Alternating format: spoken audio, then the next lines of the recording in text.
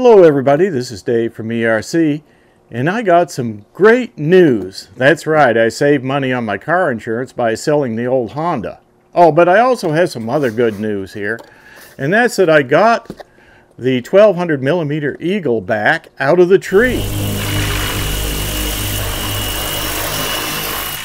Yeah, and I want to thank all my viewers that commented and gave me some ideas on how I might get it down. Uh, I appreciate your concern. It was kind of sad when it got stuck in that tree, but um, yeah, we finally got it back. And we got it back before it started raining too. Well, here's how that went. So if you watch my previous video, you can see this is what happened. The plane flew into a tree. This is the branches of a bare tree just above a pine tree. And this is the footage. I got the camera back once I got the plane back. And this was the footage that I was capturing. I did that loop-de-loop -loop, and then I lost airspeed, couldn't control it, and ended up in the tree. And that's basically how it got there. Of course, I probably could have done better. Everyone can do better, right? So I started poking on the plane with a series of aluminum pipes and sticks that I put together to try to push it down. But all I accomplished was to have the plane fall and nestle into the top of the pine tree where it was hard to get out. And then I just left it there for a while. It was there probably a couple of days while I was trying to figure out what I was going to do next. So eventually we bought a extendable painter's pole from Lowe's. And this is what it looks like. It has uh, several sections you can just extend out and then lock down. Works pretty good for a lot of things, including painting, and has a screw thread on the top where you can add various attachments. And here is my wife using the pole to get that last little piece down. Oh, there it is. It fell down. You got it. So that was the wing ornament.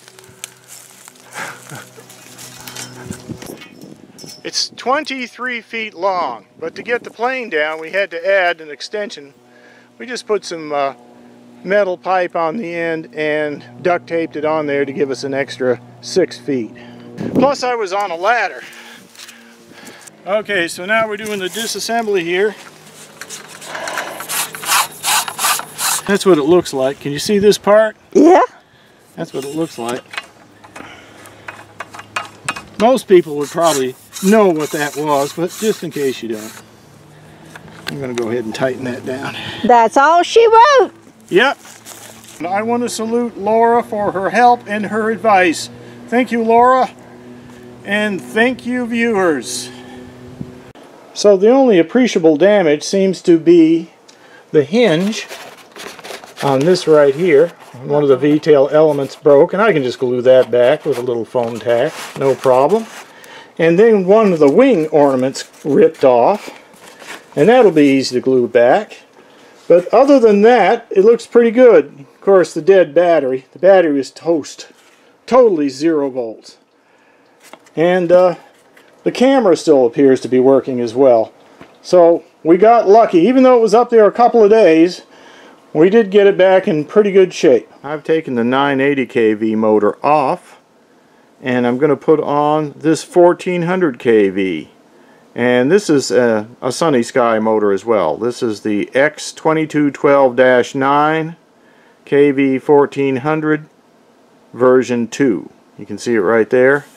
It's the same size, mount, and everything, and I'm just going to put it back on where the other one was, and I'm going to use this prop, which is same as stock, it just happens to be gray instead of orange, but it's the 8x4 prop. Okay, just thought I'd try the Eagle after putting the 1400 kV motor on it. So going to go out and fly it and see how it does. Yeah, I know they hit the balls. Oh, there they are down there. Okay, they're down there now. Well, let's just see if we can fly around in here. Maybe they won't complain.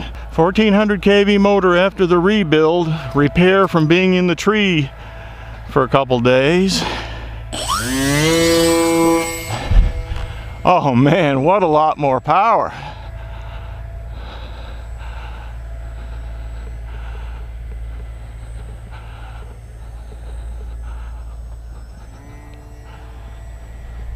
Ton more power.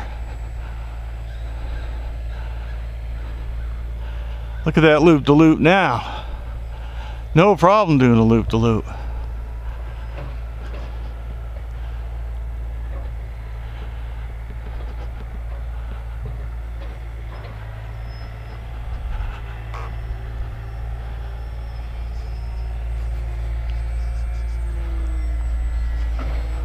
Well, I'm having trouble with the ailerons. You can bring it in. Having trouble with the ailerons. I don't know why.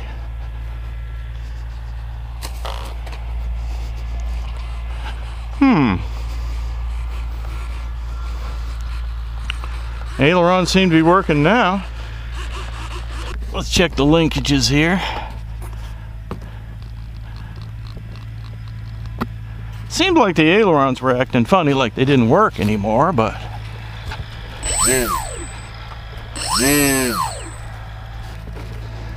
Oh, I'll bet that was it. That thing came loose. Yeah, this little thing here was coming loose and causing it to act funny. That could be what it was. That's on the other side from the one I glued. I believe, yeah, this is the one I glued earlier. Now this one's come off. Well, looks like I'm going to have to fix that. Yeah, I don't see anything wrong with the ailerons or the rudder or anything. I just think this came loose and now I need to glue it. Of course, I had to land quicker than I wanted to because of the wing malfunction there. But let's see what the battery reads. Oh yeah, still 81%, so that motor didn't draw the battery down that much, so it should be okay. So the addition of the 1400 kV motor I think is going to make a lot of difference in the way it flies. It has a lot more power now and it's a lot more maneuverable. So I think it's going to be a very enjoyable plane in the future. But I do have the 1430 millimeter plane on order. The 1430 millimeter Eagle is on order and I'll be building that too. And I think that'll be a, a great one to fly. So you might want to check out that build series. All right, so stay tuned for that in the future. And if you're not subscribed, don't forget to subscribe and click that bell notification so you get the notifications. All right, thanks for watching and thanks for all your help. Everybody that gave me help to get this down and support really motivated me to get it back. See you next time.